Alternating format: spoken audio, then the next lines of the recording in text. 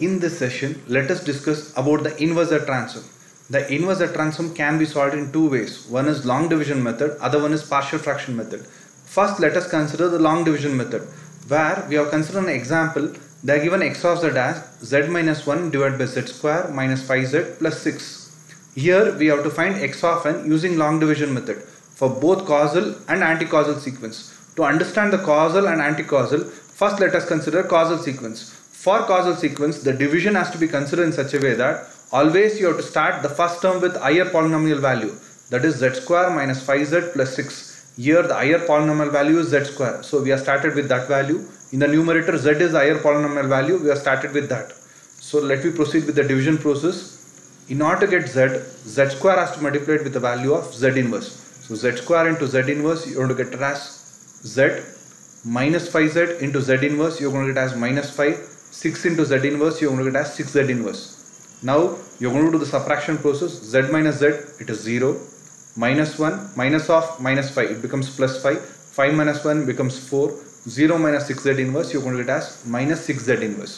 Next in order to get 4 z square has to multiply it with 4z to the power of minus 2 by which you're going to end up with 4 minus 5z into 4z to the power of minus 2 you're going to get as minus 20 z to the power z inverse. Next 6 into 4 it is 24 z to the power of minus 2 again we are going to do the subtraction process. 4 minus 4 is 0 minus into minus becomes plus. 20 minus 6 it is 14 z inverse. Again 0 minus 24 z to the power of minus 2 you want to get as minus 24 z to the power of minus 2 again in order to get 14 z inverse z square has to multiply it with the value of z square into 14z to the power of minus 3 because z square into z to the power of minus 3 end up with z inverse. So you're going to end up with 14z inverse minus 5z into 14z to the power of minus 3 you're going to get as minus 70z to the power of minus 2 6 into 14 it is 84 z to the power of minus 3 again we are going to do subtraction. 14z inverse minus 14z inverse it is 0 minus into minus becomes plus. 70 minus 24 is 46 z to the power of minus 2 0 minus 84 it is minus 84 z to the power of minus 3 this division process keep on continue. We can stop here. Here whatever the quotient part we got that is z inverse plus 4 z to the power of minus 2 plus 14 z to the power of minus 3 using this we can extract x of n. As we know while doing the properties of ROC we can easily get x of n from this. That is x of n for this is given by there is no constant value. So the the term attached to constant value is 0 the term attached with z inverse is 1 the term attached with z to the power of minus 2 is 4 the term attached with z to the power of minus 3 is 14 so 0 1 4 14 so the z inverse the transform for x of z given x of z x of n is given by 0 1 4 14 this can be represented as a signal itself.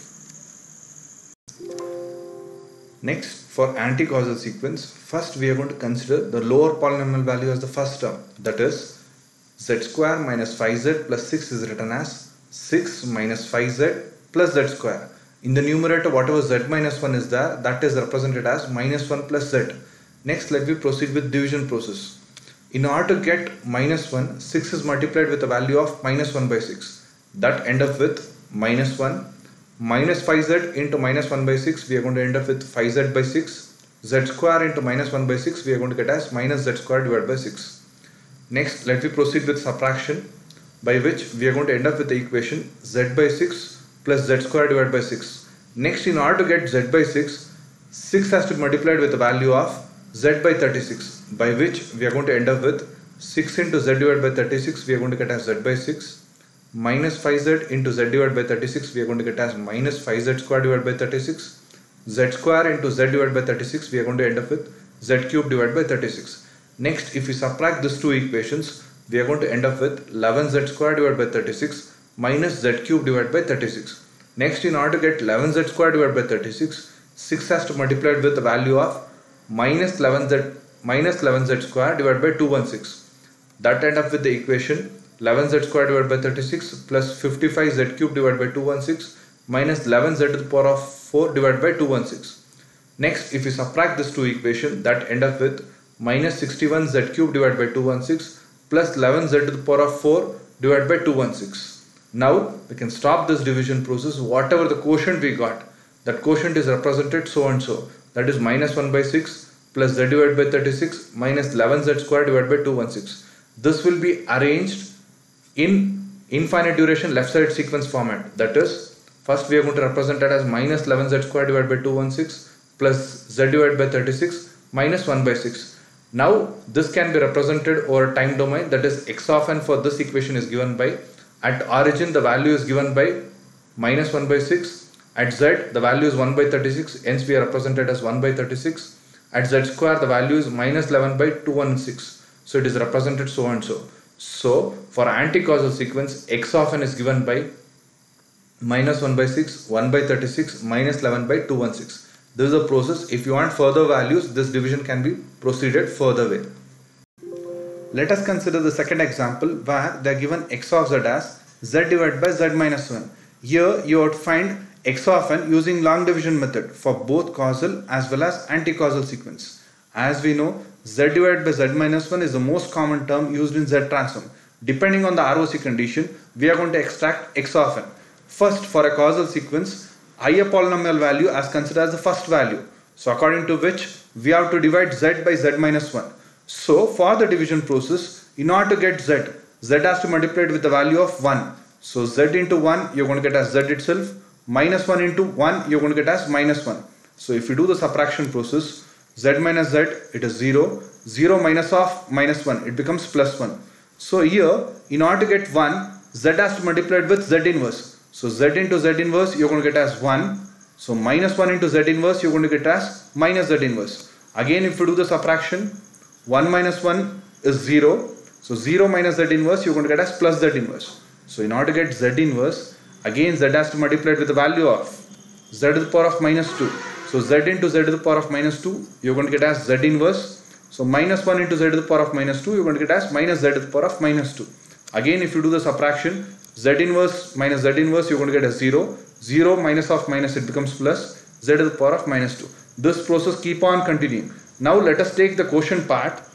For the quotient part let me represent x of n. As we know x of n where the constant is represented the value is 1 at z inverse the value is 1 at z to the power of minus 2 the value is 1 so we're getting 1 1 1 as we know x of n if all the values are 1 for the positive time positive time values it is given by u of n so z divided by z minus 1 for causal sequence x of n is given by u of n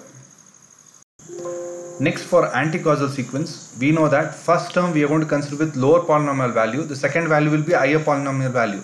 z minus 1 in which z is higher polynomial value, minus 1 is a lower polynomial value. Hence we are going to start with lower polynomial value as a first term. In the numerator only one term is available hence you are going to represent z as it is. Now let me proceed with division aspect. As we know in order to get z minus 1 has to multiply it with minus z. So minus 1 into minus z you are going to get as plus z. Z into minus z you're going to get as minus z square. If you do with subtraction aspect z minus z it is 0 minus into minus is plus so you're going to get as z square. Next in order to get z square minus 1 has to multiply it with minus z square. So if you multiply with it you're going to end up with z square z into minus z square you're going to get as minus z cube if you proceed with subtraction z square minus z square is 0 minus into minus is plus so you're going to get as z cube next not get z cube, minus 1 has to multiply with minus z cube.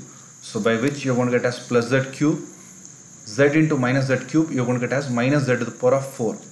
Again we do the subtraction aspect by which you end up with z to the power of more. This process keep on continuing. We can stop here. We can take the quotient part.